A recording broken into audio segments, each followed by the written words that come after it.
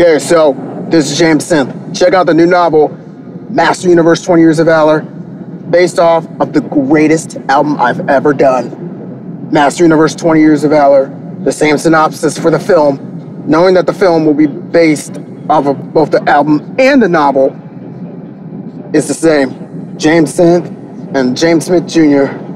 and Zealous Freeman, the father, take the ultimate steps to secure the family history that's been passed down to the strength and energy of the Valor Man, aka the end of a generation. Sema J.H. Timms, Jack Minato, and Darton Kenzo.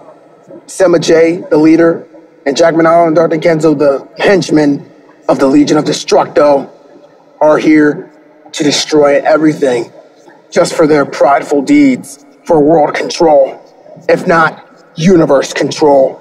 They're never looking for any valor, man.